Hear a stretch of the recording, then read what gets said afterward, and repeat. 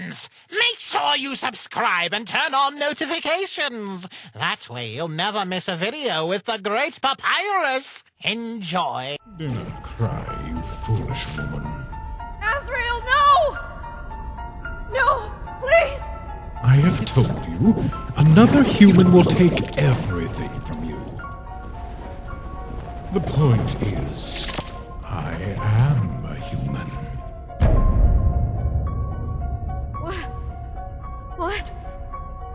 You are so easy to manipulate, my lady. It is almost charming. You're able to believe in any of my words, no matter if they are true or not. You trust me even more than your husband's love. Too bad he's not with us anymore. Pathetic. But yes, I am truly a human being, just like you. But. How? I know I'm not as handsome as I used to be. I am forced to live within this cursed body without any chance to end my suffering for hundreds of years. Magic can be really destructive, my lady. I was one of the most powerful wizards in the world, one of the seven who created the barrier. I was working for the Human King back then, during the war between monsters and humans. He was a determined yet brutal young man. His cruelty also affected his poor wife. However, he never hurt her. She was always doing her best to please and calm her beloved husband down. But after the war, things got much worse. I saw her crying many times, trying to hide her tears. The Queen started to look for help, understanding, support. She came to me, seeking the wisdom of a man with a lot of life experience. And I have never loved anybody so much. I knew she felt the same. She was so beautiful, smart, and good. But she could not live forever in this sin. You could imagine what the king's reaction was when he finally found out the betrayal. He banished his own wife without even knowing she was carrying his own child. Later, soon I was taken to the top of the Mount Ebott, where the king crushed my head with his sword and pushed into the underground, hoping that I would die. But it's not so easy to kill me. I used the darkest magic I knew to keep myself alive, gave up my blood and sanity, and this is how it ended for me. Why are you telling me this? Do you think I'm gonna pity you? My love, the Queen, had survived and given birth to a child.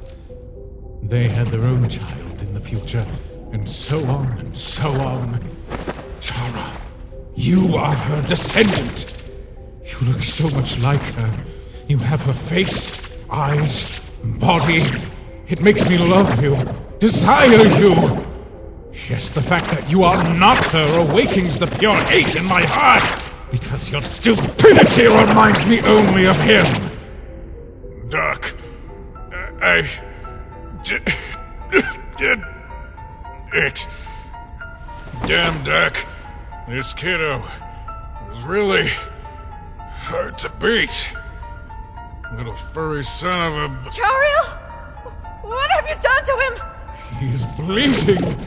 Magnificent! Incredible! He is truly a perfect hybrid! Mommy! I did my best, but I couldn't protect the human. I'm so sorry. Gaster, I beg you, spare his life! He's my child! Have mercy! I'll do anything you want! No, Chara. Your bonding with the present is so strong you cannot see other possibilities. With all the souls you have collected and the unique soul of your son, I can finally make miracles! With this machine and the power of souls, I will be able to control time. Imagine it, Chara. I can go back in time, stop all the sorrow that has already happened. Not just destroy the barrier, I can prevent its creation! Now I have two revenants. Soon there will be an army. If I kill the king before the war starts, everybody would have their happy endings. And I will see her once again. I will stay forever with the woman I love.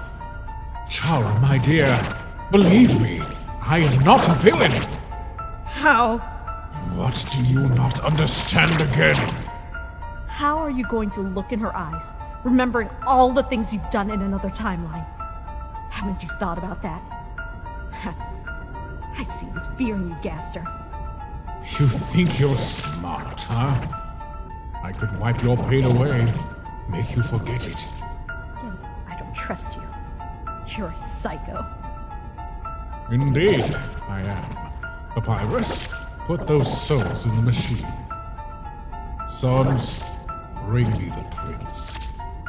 What? No! Sans, please! You don't have to listen to him! Sans, remember who is your master. Sans! I'm sorry, Queen.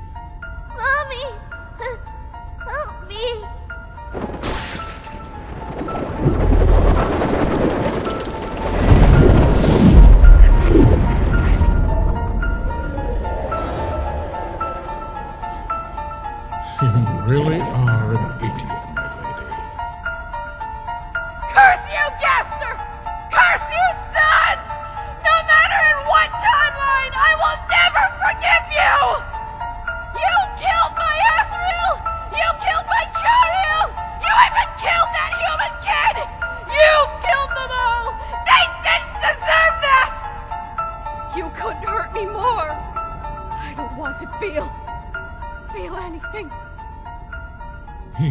wish will be granted, my lady. That's enough! S- Papyrus! How dare you! I don't care about the consequences. I did a lot of wrong things already. But I won't let you be in charge of this whole timeline times out space thing.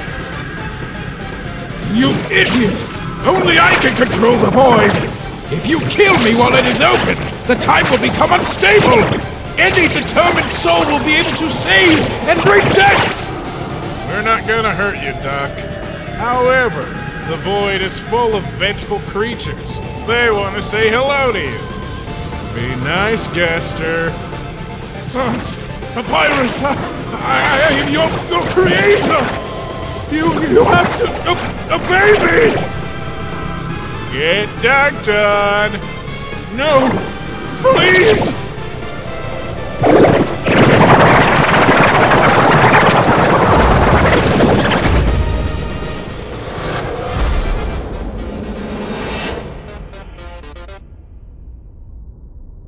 What now, Sans? The machine is broken and will turn off in a minute or two. Time is still unstable, but everything will come back to normal. Except that Gaster will stay in the void. Nothing will be normal anymore. I'm sorry, but we could never kill Gaster on our own. The only way to get rid of him was to get him sucked into the void. And, you know. You must have misunderstood. Once I wanted to take revenge on humanity, but I haven't done that because of my love for Asriel and everyone I could lose. In the end, I lost everything anyway. So maybe if I'd get rid of feelings and emotions, I'd do what had to be done with no regrets. Wait, you are. Any determined soul will be able to save and reset. This is what Gaster said. What about a race? Because there's nothing left for me in this world.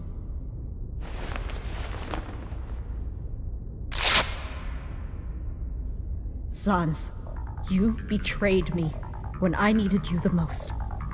Your soul? It can't be. I will make you watch your loved ones die over and over. So pray to every god you know. Is that determination? If I meet you again, in another timeline, I'll show you genocide.